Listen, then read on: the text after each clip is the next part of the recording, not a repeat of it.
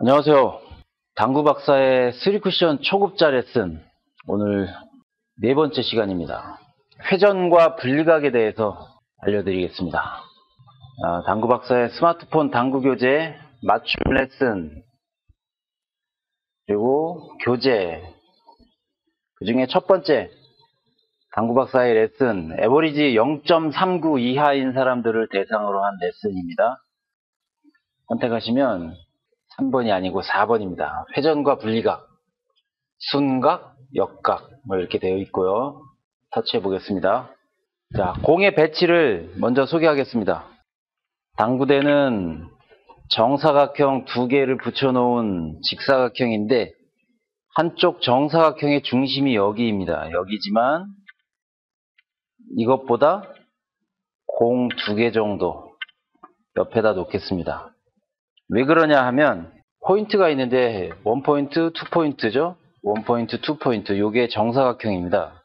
그렇기 때문에 이것이 정사각형의 대각선이기 때문에 각도상 45도입니다. 45도. 하지만 우리가 칠 노란 공은 45도보다 작은 40도 정도겠죠. 42도일지 어떨지 모르겠지만 아무튼 45도보다는 작은 각도에 위치해 있습니다. 그리고 내 흰 공은 노란 공을 수직으로 바라보는 곳. 그리고 빨간 공은 코너 근처에 확률 높게. 자 배치는 이렇고요. 당구박사 앱을 사용할 때 이 물음표를 터치하시면 아래에 메뉴가 나옵니다. 아, X는 X축으로 뒤집는 것이고 Y는 Y축으로 뒤집는 것이고 Z는 180도 배치를 회전시키는 것인데 음, 지금 현재 제, 제 방향으로 돌아왔죠. 네, www 마크는 이걸 터치하면 박사가 운영하는 홈페이지로 접속이 됩니다. 그래서 어, 오늘의 내용이 들어있는 홈페이지에 연결이 되니까 혹시 뭐 동영상을 보다가 궁금한 거 있거나 스스로 좀 기록을 남기고 싶다 하시는 분들은 이 링크를 이용하시면 됩니다. 자, 그리고 이제 전구 표시가 있는데 이게 힌트입니다. 힌트. 자, 첫 번째 힌트. 내용을 확인하면서 알려드리겠습니다. 자, 첫 번째. 내공과, 내공과 일목적구의 위치는 좌우 대칭이다. 좌우 대칭이라는 것은 중심에 있다는 거죠. 그리고 무회전으로 칠 경우와 회전을 주고 치는 경우의 불각이 다르다. 이 공을 오른쪽으로 치는데 똑같은 2분의 1 두께를 친다 하더라도 무회전으로 칠 때하고 오른쪽 회전 또는 왼쪽 회전을 주고 칠 때가 분리각이 조금 다릅니다. 많이 다른 것은 아니고 약간 다릅니다. 순각과 역각일 경우에 분리각이 다르다. 순각이라는 것은 오른쪽 회전 주고 오른쪽 맞힐 때 역각이라는 것은 오른쪽 회전 주고 왼쪽 맞힐 때 내공의 분리각이 다르다는 것이고요. 분리각이라는 것은 속도와 당점의 영향을 받는다. 너무나 당연하죠. 빠른 속도로 치면 분리각이 좀 더 커지고 당점을 내리고 치면 분리각이 더 커지죠. 그리고 중단 당점으로 칠 때 같은 두께로 칠 경우에는 내공의 이동 속도가 더 빠르다. 무슨 말이냐면 중단 당점으로 흰 공으로 노란 공을 쳤을 때 2분의 1을 맞췄다 하더라도 내공의 이동 속도가 노란 공보다 빠르다는 겁니다. 즉, 흰 공은 여기서 출발하는 거니까 노란 공과 거의 같은 지점에서 출발하지만 흰 공이 이만큼 왔을 때 노란 공은 요 정도 온다. 즉, 내 공이 더 빠르게 진행한다. 같은 절반 두께가 맞았다 하더라도 그런 내용, 내용이고요. 아, 이게 마지막인 것 같은데 내 공의 이동 궤적이 직선이 아니므로 일목적구가 더 짧게 진행했다. 이건 뭐냐면 12시 방향 투팁이라는 무회전의 당점으로 일목적구의 오른쪽 2분의 1 두께를 쳤는데 그랬을 때 흰 공은 여기로 오지만 노란 공은 이렇게 가거든요. 각도의 차이가 있죠. 흰 공이 온 곳과 노란 공이 간 곳에 각도가 차이 있는, 차이가 있는데 그것은 흰 공이 노란 공을 맞고 진행할 때, 즉 단쿠션에 들어갈 때 직선의 형태로 가지 않고 휘어 들어갔기 때문에 입사각이 달라지면서 도착점도 다르다. 그런 내용입니다.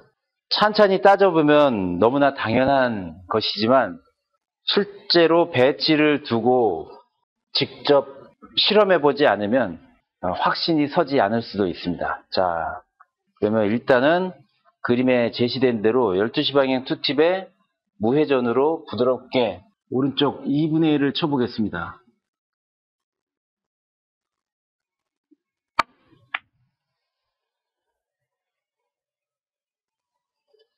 아, 제가 너무 살살 쳤네요.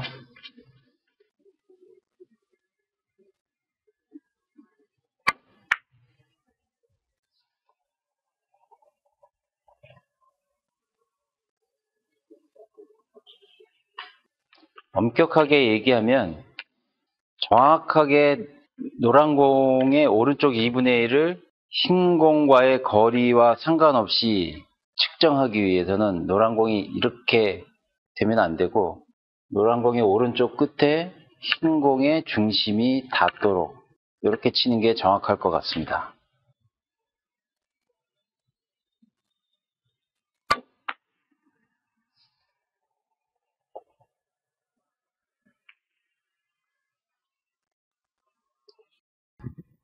자, 이번에는 같은 배치에서 오른쪽 회전을 주고 3시 방향 투팁에 회전을 주고 노란 공의 왼쪽 2분의 1을 맞춰 보겠습니다. 자, 3시 방향 투팁 왼쪽 2분의 1 맞춰 보겠습니다.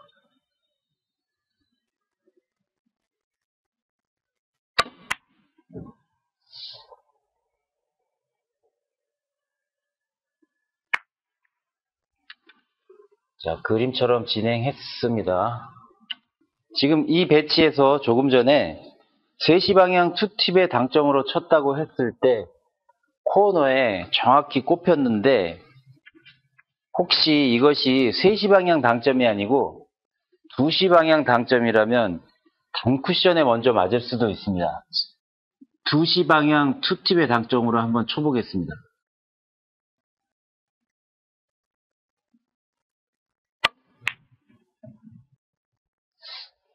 노란 공이 오는 방향은 비슷한데 아, 내 공은 단쿠션에 맞죠. 이렇게 분리각은 당점에 따라 속도에 따라 물론 두께에 따라서도 달라질 수가 있습니다. 자 그리고 어, 두 번째 내용이 있는데 절반 두께가 맞았어도 내공은 회전과 운동량을 가지고 있어서 이동 속도가 빠르다. 다시 3시 방향 투팁의 당점으로 한번 쳐보겠는데요. 이번엔 흰공이 얼마나 노란 공보다 빨리 오는지 한번 보세요. 자, 흰공은 벌써 이만큼 진행했는데 노란 공은 이제야 흰공의 이동 거리가 훨씬 길죠? 그런데도 도착점은 여기에서 두 공이 만나게 됐는데 일목적고의 이동 거리보다 흰공이 훨씬 흰공의 이동 속도가 빨랐다는 거죠. 흰공은 회전을 가지고 있고 이동해서 노란 공을 때렸던 운동량을 가지고 있기 때문에 이동 속도가 빠르다는 겁니다. 절반 두께가 맞았어도 이것을 잘 이해해야 아, 나중에 키스가 있는 배치다 또는 키스가 있으므로 키스를 빼는데 어떻게 빼야 될 것인가 그런 것을 생각할 때 근거가 되는 지식이 됩니다. 그리고 이 배치는 뒤돌리기로 쳤을 때 어, 키스가 여기에서 있을 수도 있고 여기에서 있을 수도 있고 여기에서 있을 수도 있고 다양한 키스의 가능성이 있는 배치입니다. 아, 이런 배치를 두고 연습해 보면 어, 재미있을 거라고 생각합니다. 마지막으로 다음은 조금 전에는 역각으로 쳤지만 이번에는 순각으로 치겠습니다.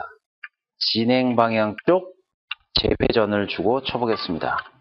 그러니까 오른쪽 회전 주고 오른쪽 맞히는 겁니다.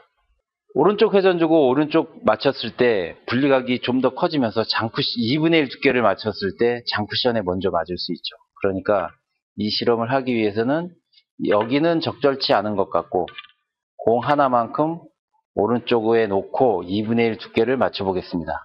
그리고 여기 3시 당점은 장쿠션에 먼저 맞을 수도 있다라고 첫 번째 써 있는데 그것은 회전이 많으면 많아질수록 내가 2분의 1 두께를 맞췄다 하더라도 맞히고 싶다 하더라도 스쿼트가 일어나면서 좀 더 두껍게 맞을 수도 있고 또 회전이 많은 만큼 미세하지만 오른쪽으로 진행하는 성질이 커지면서 분리각이 커질 수도 있기 때문에 장쿠션에 먼저 맞을 수도 있습니다.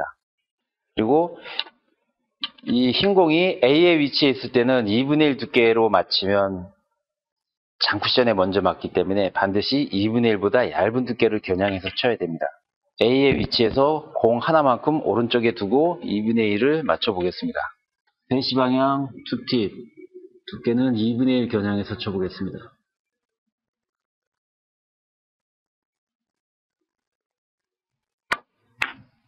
조금 얇았네.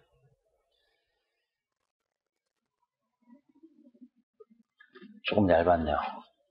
자, 이렇게 회전을 사용하는 순간 정확한 두께를 맞추기가 어려워집니다. 그래서 가능한 멀리 있는 공의 경우에는 회전을 주지 않을 수만 있다면 회전을 주지 않고 주더라도 적게 주고 치는 방법이 조금 더 어서 오세요. 일찍 오셨네.